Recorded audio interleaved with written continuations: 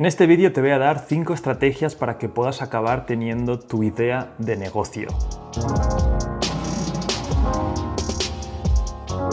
Tener ideas de negocio a veces es la parte en la que más tiempo nos quedamos estancados como emprendedores. Yo te puedo asegurar que personalmente cuando empecé a emprender tenía un montón de ideas de negocio, la mayoría eran horribles, tardaba mucho en ejecutarlas, me pasaba mucho tiempo en la fase de castillos en el aire. Me acuerdo incluso que una vez estuve como tres meses quedando con un amigo planeando esa idea de negocio increíble y hubo un momento que nos daba hasta miedo sacar la idea o probarla porque nuestra cabeza sonaba tan espectacular que en el momento en el que empezásemos a hacer algo ese miedo de que ya no fuera tan espectacular. Y eso es un problema y algo que nos pasa a muchísimos de nosotros. Seguramente te habrá pasado a ti o incluso peor, te quedas en una situación en la que sí, te gustaría emprender, te gustaría empezar algo, pero tu músculo de ideación está bastante atrofiado. En este vídeo vamos realmente a profundizar en todo ello y vamos a ver formas prácticas de acabar ideando futuros negocios. Estrategia número uno, piensa en segundas y terceras derivadas. Cuando normalmente pensamos en el futuro, solamente estamos pensando en cómo una tecnología en sí va a cambiar algo. Por ejemplo, los coches autónomos cambiarán la forma en la que nos transportamos y vamos a diferentes sitios. O por ejemplo, la inteligencia artificial creará textos automáticamente. Y al introducir los pensamientos de segundas y terceras derivadas, lo que conseguimos es predecir siguientes cosas que pueden pasar cuando esa primera tecnología cambie las cosas. Por ejemplo, con el coche autónomo,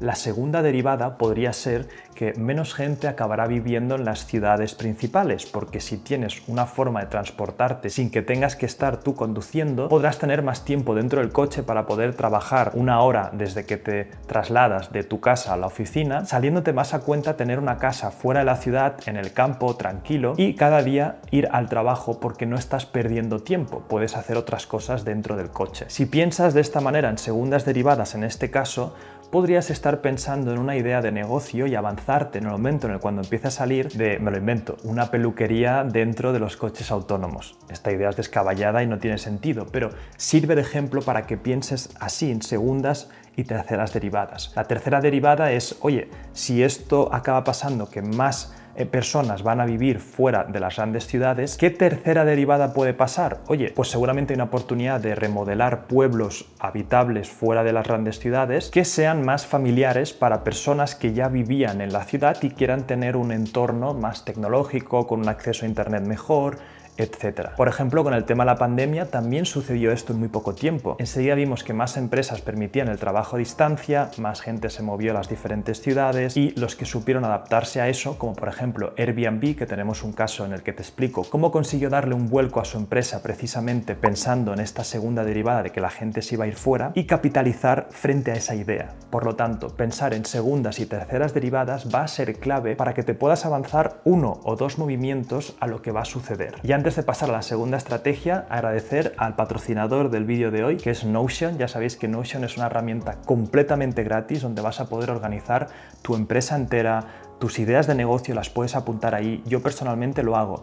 Tengo en mi Notion una pantallita que pone ideas de negocio y cuando se me ocurre alguna siempre voy ahí y la apunto. En mi caso es porque no quiero tenerlas en mi cabeza rondando mucho tiempo porque me distraen de mis negocios principales.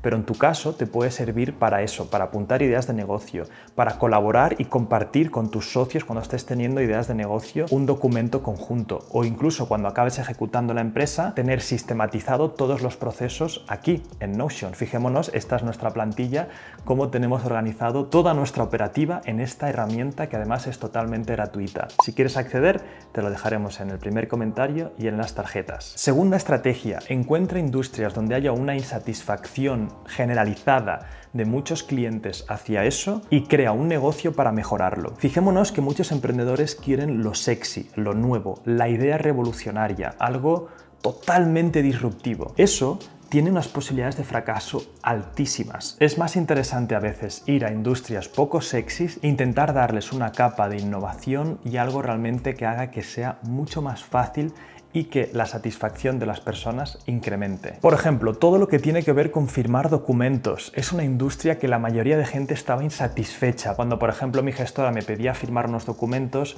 me mandaba un PDF por email, yo tenía que imprimirlo, tenía que firmarlo, tenía que ir con una aplicación de escáner para hacerle un scan y pasárselo otra vez de vuelta. Fíjate que había un descontento generalizado en este aspecto y ahí vinieron empresas como DocuSign o HelloSign para ayudar a facilitar este proceso. Se dieron cuenta de algo que se solía hacer ya desde hace mucho tiempo, estaba anticuado y le dieron esta pequeña capa de innovación que es básicamente mandarte el documento de firma electrónica a través del email haciendo el proceso muchísimo más fácil. O por ejemplo la empresa española Housefy que básicamente identificó que todo el proceso de compra-venta de casas que se lleva haciendo desde hace mucho tiempo, las inmobiliarias, eh, que no sabe realmente cuándo te van a cobrar, qué porcentaje se lleva la inmobiliaria cuando se lo vende, hay todo un proceso que se hace tedioso y una insatisfacción general y básicamente simplificaron el modelo con un pago fijo a la hora de vender tu casa y tecnología detrás para poder encontrar compradores para ella. Estrategia número 3. Haz algo de pago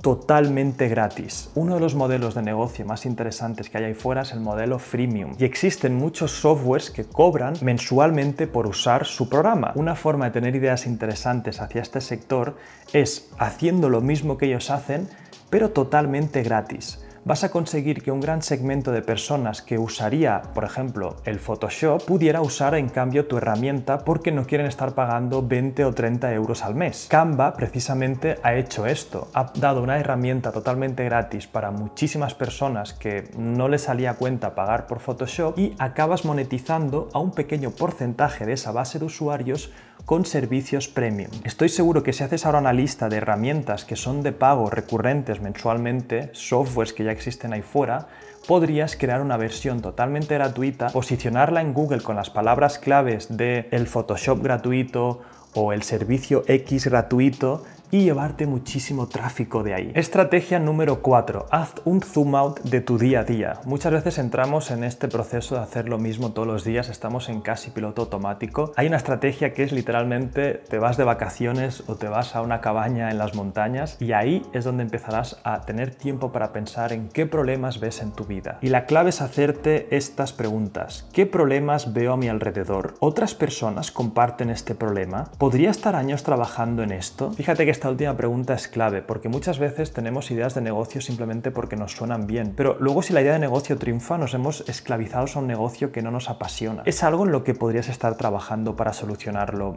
años, y no tiene que ser que te apasione la temática en sí, quizás te apasiona solucionar ese problema. A mí personalmente cuando me voy de viaje es donde más ideas tengo, porque es donde salgo de mi día a día y tengo tiempo para estar tranquilo y empezar a razonar y conectar puntos de unión que en el día a día no podría haberlo hecho. Y por último, la número 5 es crear una marca personal alrededor de algo que a ti te guste. Aquí hay varias tendencias que tienes que entender. Una, la operativa de llevar un negocio en el fondo es un commodity, es decir, hay muchas personas que ya son capaces de llevar el día a día de ciertos negocios. Lo que realmente es importante es quién es capaz de crear una marca alrededor de ese negocio y traer a los primeros clientes que van a empezar a consumir ese producto. Un caso claro es el tema de MrBeast. MrBeast es un youtuber americano que está creando marcas por debajo suyo, una franquicia de hamburguesas, unas tabletas de chocolate. Él no dirige esas empresas, tiene gente cualificada debajo que puede operar esos negocios, pero lo que él hace que es más difícil es traer atención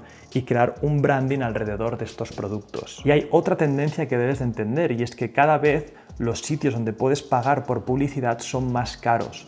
Por lo tanto, esa época en la que podías poner unos cuantos anuncios en Facebook y empezar a arrancar tu negocio se está empezando a terminar. Y cada vez veremos más negocios que se crean debajo de personas que tienen influencia. Hace tiempo la gente se reía de los youtubers, de los influencers, pero ahora esto más que nunca va a tener una importancia para tener atención. Y lo importante aquí es que si tú acabas creando esa marca, tienes que saber cuáles son tus puntos débiles. Si quieres crear esa marca y también ser el que opere estas empresas, seguramente alguna de las dos se perjudicará. Aquí es clave aliarte con personas estratégicas que puedan dedicar su tiempo 100% a llevar la empresa. Y ya está, aquí van cinco estrategias claves para que puedas tener tu idea de negocio. Agradecer de nuevo a Notion, que es donde puedes apuntar todas estas ideas de negocio. Y ahora me gustaría que tú también participases y aquí aquí abajo me apuntases otras formas que tienes tú de encontrar ideas de negocio. Entre todos aprendemos. Si eres nuevo en el canal, suscríbete. Mucho más contenido aquí todas las semanas y nos vemos en el siguiente. Chao.